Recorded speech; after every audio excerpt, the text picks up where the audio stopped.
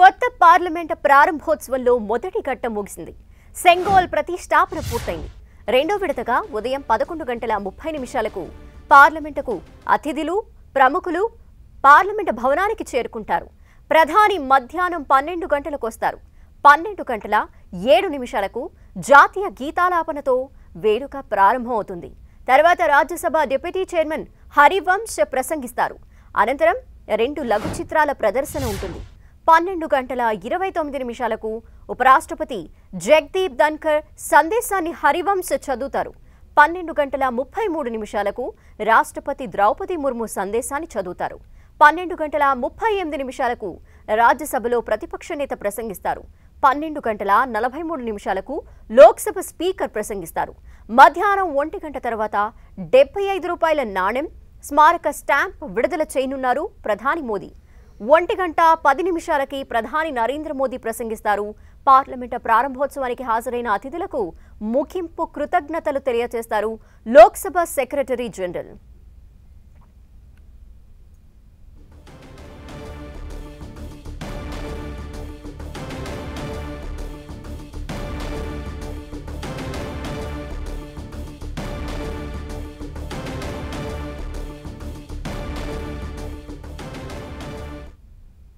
చరిత్రలో నిలిచిపోయే కొత్త సౌధం ఎన్నో వైవిధ్యమైన కళలతో నిర్మాణమైంది. నవభారత నిర్మాణంలో కొత్త శకానికి నాంది పలుకుతూ సిద్ధమైంది భారత ప్రజాస్వామ్య సౌధం. నూతన పార్లమెంటు డిజైన్ నుంచి నిర్మాణం వరకు ప్రతీతి ప్రత్యేకమే.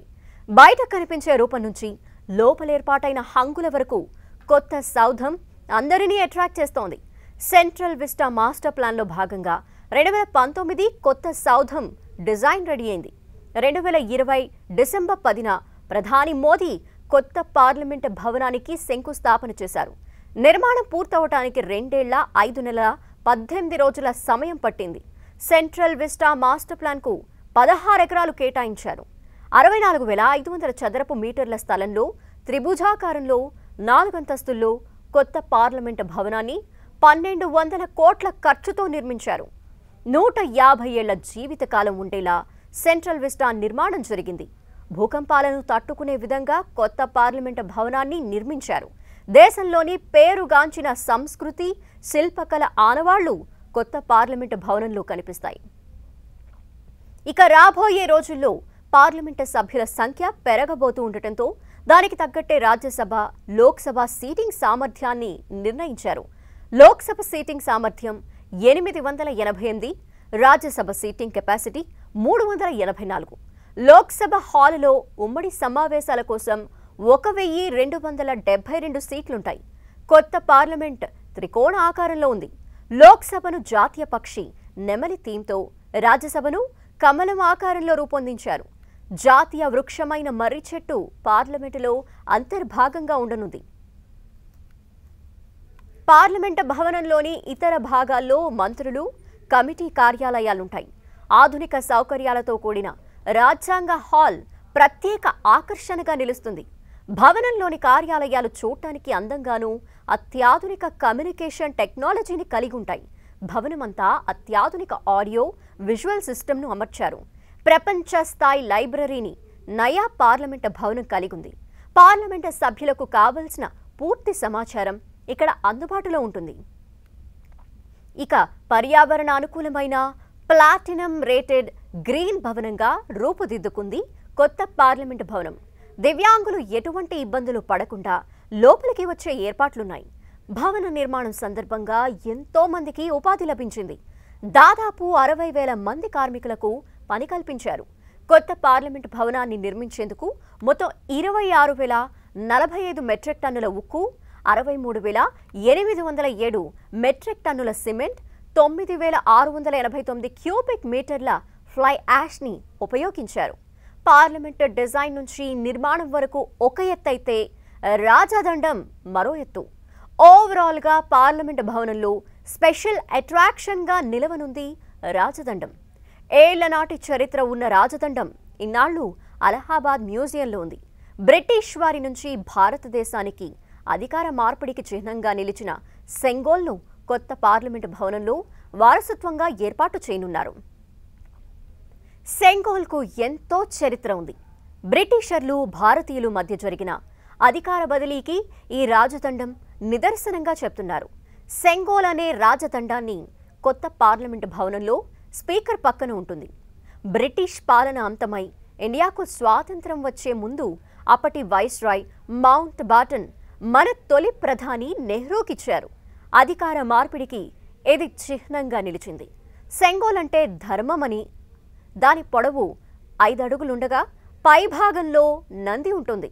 మన సంప్రదాయాలను ఆధునికతను సంధానించే ప్రయత్నంగా సెంఘోల్ నిలుస్తోంది. ఈ రాజదండాన్ని న్యాయానికి ప్రతీకగా రూపొందించారు.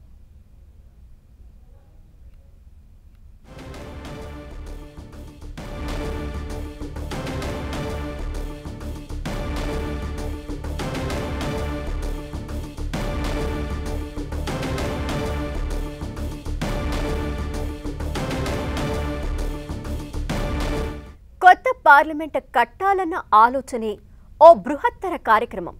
చరిత్రలో నిలిచిపోయే సౌధాన్ని డిజైన్ నుంచి నిర్మాణం వరకు ప్రతీదీ సవాల్గా తీసుకుంది కేంద్ర ప్రభుత్వం.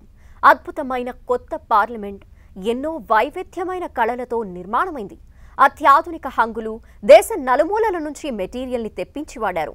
టేకు మార్బుల్స్ శిల్పాలు ఇలా నిర్మాణానికి కావలసిన ప్రతి వస్తువును దేశంలో వివిధ ప్రముఖ ప్రాంతాల నుంచి సేకరించారు. అన్ని ప్రాంతాల భాగస్వామ్యం ఉండేలా చర్యలు తీసుకున్నారు.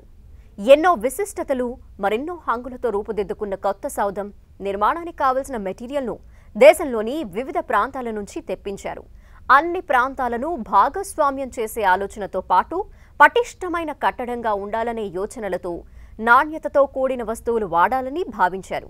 పలు రాష్ట్రాల్లో గుర్తింపు పొందిన ప్రాంతాల నుంచి మెటీరియల్ని తెప్పించి కొత్త పార్లమెంట్ భవన నిర్మాణం కోసం వాడారు.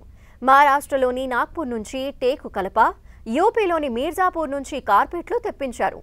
త్రిపుర నుంచి ఫ్లోరింగ్కి కావలసిన వెదురు రాజస్థాన్ నుంచి తెచ్చిన రాతి శిలలు పార్లమెంటు భవన నిర్మాణంలో వాడారు. మహారాష్ట్రలోని సర్మతుర నుంచి ఎరుపు తెలుపు ఇసుక రాయిని తెప్పించారు. ఇక ఔరంగాబాద్ జైపూర్ నుంచి అశోక చిహ్నాన్ని సేకరించారు. మధ్యప్రదేశ్ ఇండోర్ నుంచి అశోక చక్రం తెచ్చి పార్లమెంటు భవనానికి అమర్చారు. కొత్త పార్లమెంటు భవనానికి కావలసిన ఫర్నిచర్ను ముంబై నుంచి కొనుగోలు చేశారు.